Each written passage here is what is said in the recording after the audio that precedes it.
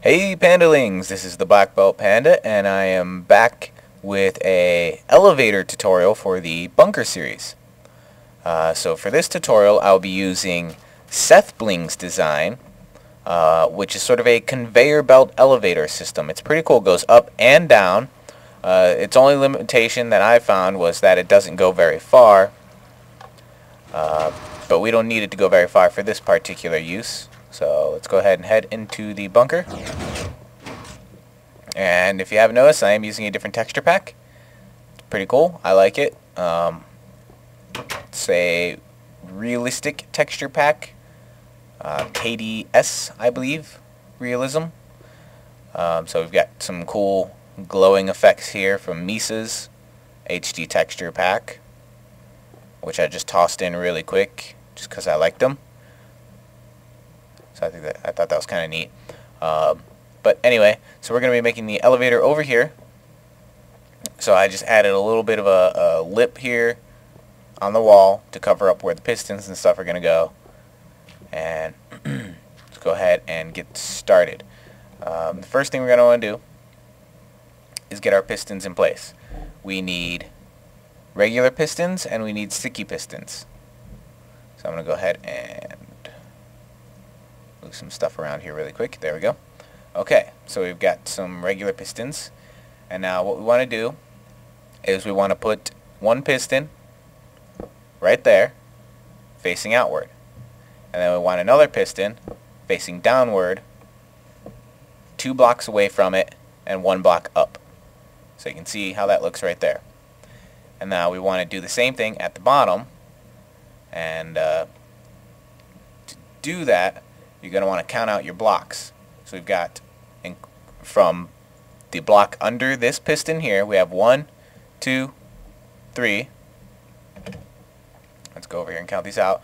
Four, five, six, seven, eight, nine, ten, eleven, and 12 blocks before the next piston, which is going to be pointing up. Then we want another piston over here pointing over, two blocks over one block up. And those are going to be the pistons that are going to be moving the elevator. Um, so you just make sure you go down that many blocks. What was it, 12 blocks? Put your other pistons down. And I just went ahead and you know hollowed out this room here. Um, and this is uh, another room we'll be doing in another tutorial I'll be covering. Uh, it'll be an armory. So now we can go back up to the top and we will put a button here. So we need a button. I'm to put the button right here. So there's the button. That's going to turn it on and off. Whoop. Don't fall down the hole like I did. Okay. Now we can start wiring it up. So what we want to do, first of all, is since we're using buttons, we want to make a T flip-flop. So I'm going to grab two sticky pistons. You don't need sticky pistons. You can use regular pistons for this. I just like to use sticky pistons. I don't know why. um, we're going to put those right like that. So sticky piston facing one way, two blocks of empty space, and then two blocks of empty space below that, and another sticky piston over here facing the first one. And then what we're going to do is we're going to grab a block, and you want to put it in front of the sticky piston, on top of that one, and next to that one. And then we're going to put a torch on one side, a torch on the other side, and right down there, we're going to put another torch, just like that.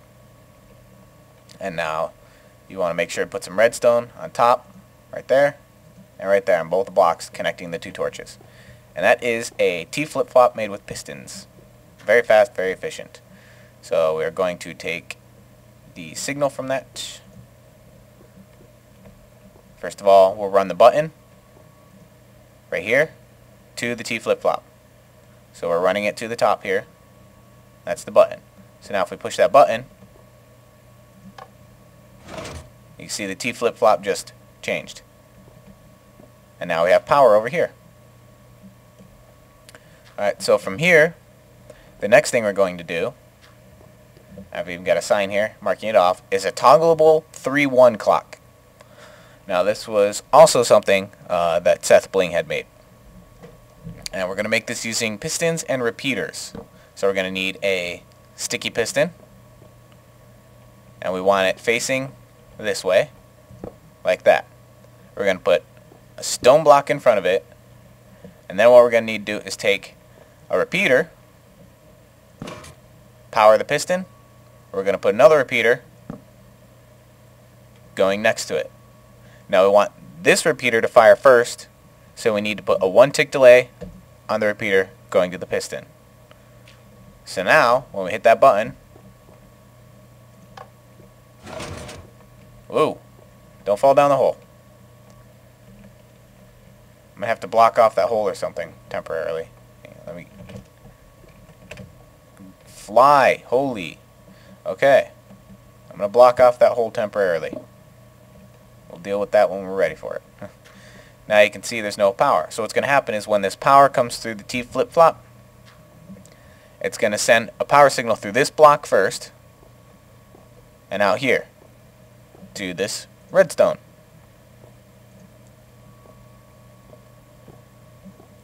And then one tick later, the piston will turn on and this block will slide forward. And then we've got repeaters here. You want to place them just like this. One there, one there. Then you want to turn around, one there, and one there. Now, it's a little bit complicated if you don't know anything about redstone, but basically, see if I can explain this. We've got a one tick signal. So just a split second, a pulse will go through this block, and then that block will get shoved in front here. And then that one tick pulse will hit these repeaters, and it will constantly be circling through these repeaters because it'll go into this block, into this redstone, through the repeaters, into the block, and etc., etc. And it'll be looping forever. um, so I guess the best way I can uh, demonstrate that is to power it, and show you.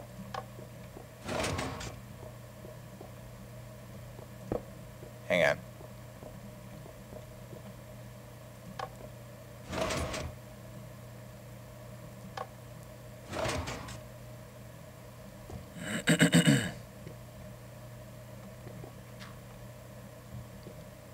What's going on?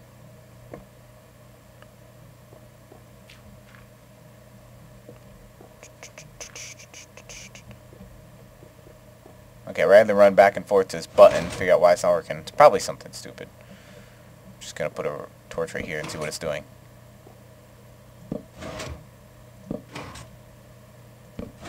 Is the signal not making it out? No, the signal made it.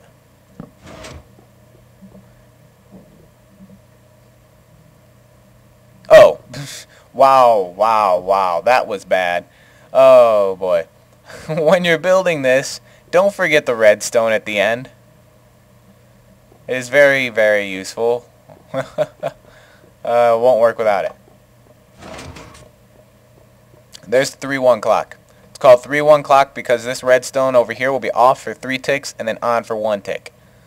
You can also call it a 3 clock. Ignore my textures. They look a little funny because I'm experimenting. Um, but anyway, next thing we want to do is send this signal over to the first piston. So we're just going to run the redstone up here and then across here over to that piston right there. There we go. Now we have one piston oops, activating. Now the second one needs to be two ticks delayed. So we're going to come over here. Going to take the signal we're going to run it down here. we're going to put a repeater right here. And then we're going to run the signal. Continuing on our way to the next piston. we're going to need one more repeater so we get those two tick delay. So get that two tick delay right there. And now this one will be exactly two ticks delayed from the other one.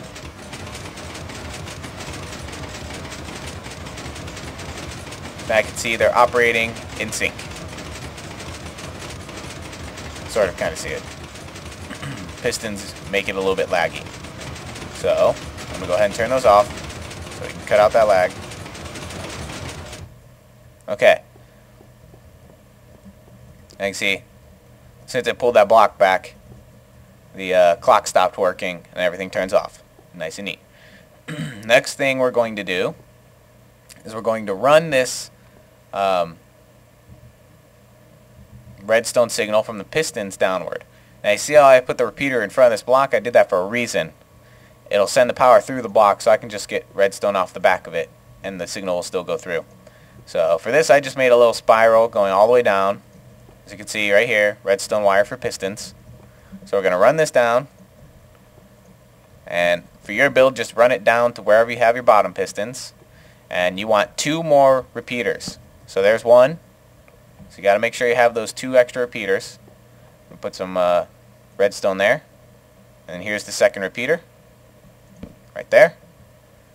And now we want this wire to go to the piston that pushes up because it's coming from the piston that pushes over. This way, this will be in sync with the other piston that pushes down. That's important. Now, we'll go this way to the other piston, and again, we want two repeaters because we want a two-tick delay. And we'll just run that around just like that, and that'll run over to this block and power this piston, which would be two ticks delayed from this one, which makes it, this is the piston that pushes over, makes it in sync with the other piston that pushes over. That is very important. Next thing we're going to do, we're going to run, uh, get down here. I'm getting lost my own contraption here. We're going to run back up this spiral little staircase thing. We ran the redstone wire down. Jump up, jump up. Alright, here we go. Now we want to wire the button in as well. So we want a button at the bottom to be able to turn it on and off from the bottom. So we're going to take this wire, which is going to the button, and we're going to run this down another spiral little staircase, like we did with the other one, down to the same level, just like that. I'm going to add a repeater because Otherwise the uh, signal will die before we get down here. I'm going to have to go around. Hang on. Alright, so there's the repeater. Now we're going to run this straight across here and up here like that. And that's where the button's going to be. So we're going to have our button right there.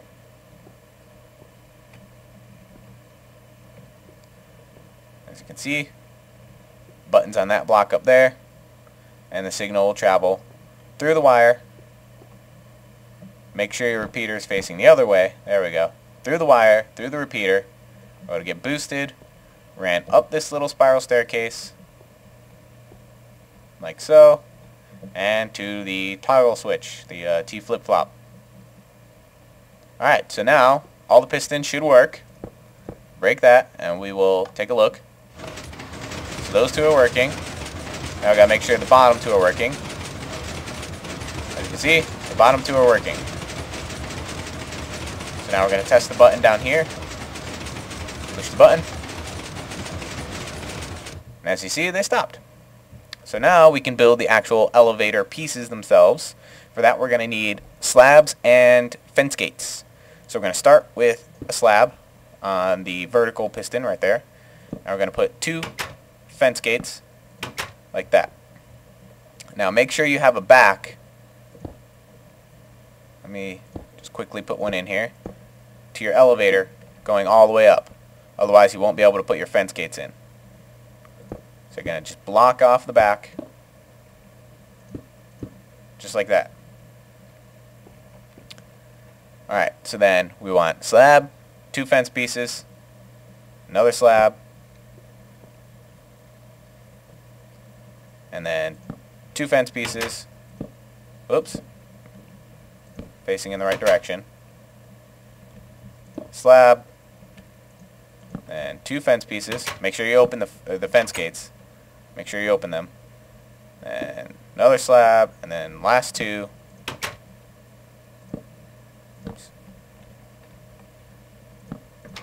Like that. And you have to work from the bottom to the top. So we're going to run down to the bottom now. Alright, so now this will push up. So this one we want to push a fence gate over. Fence gate. And then slab.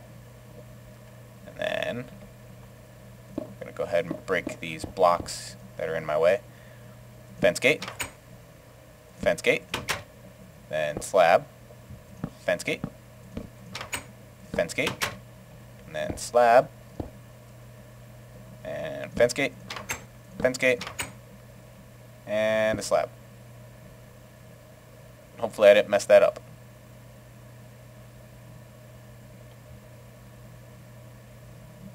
We'll find out. Now we'll test it out really quick here.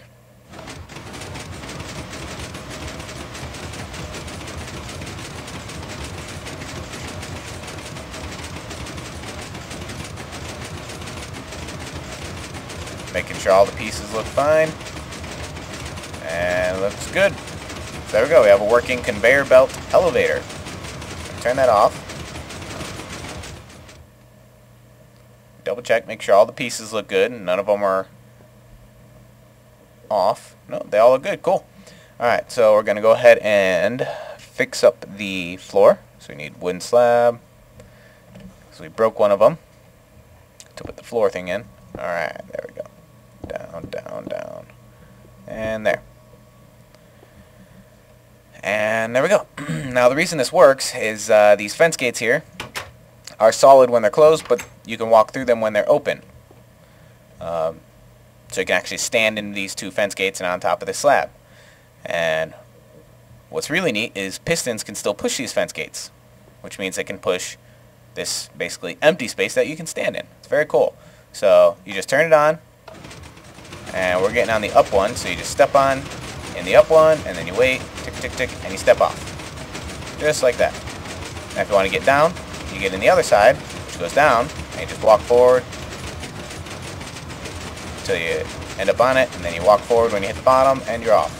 That's a little bit laggy because I'm recording, uh, but then you can turn it off with the button down here, and we're done. We've got an awesome new uh, piston elevator in the bunker, which is pretty cool. Uh, next episode we'll be working in this room here, which I dug out. Uh, this is going to be an armory. So I will show you how to quickly build an armory, but uh, we're going to do a little bit more redstone work because we're going to have double doors uh, with um, pressure plates. So you'll be able to walk across pressure plates and have it open both iron doors at the same time uh, with no delay in either of them um, and from either side and I probably will show you how to make it lockable with like a little uh, uh, lever on one side, so I can flip the lever, and then, you know, if you come in, you can flip the lever, and no one else can come in.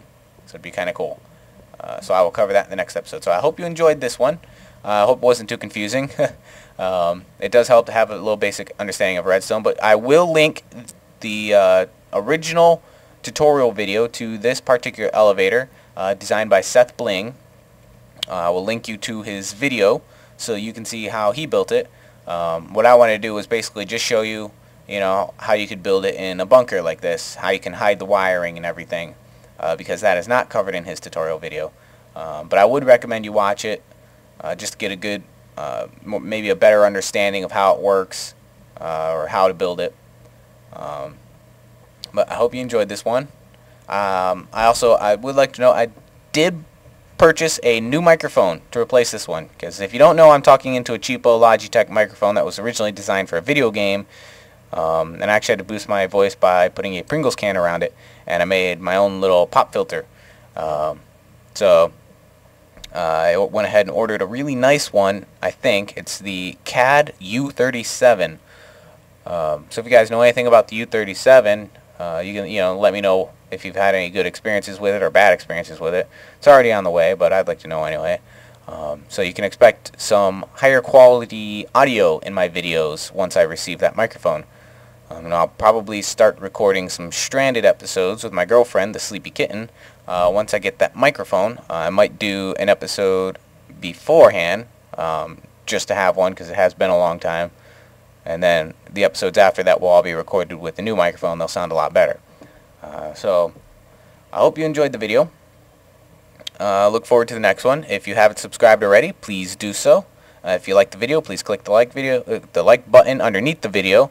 And if you have any questions uh, or comments or whatever, just post them below the video. Uh, so thanks for watching. This is the Black Belt Panda, and I will talk to you in the next video.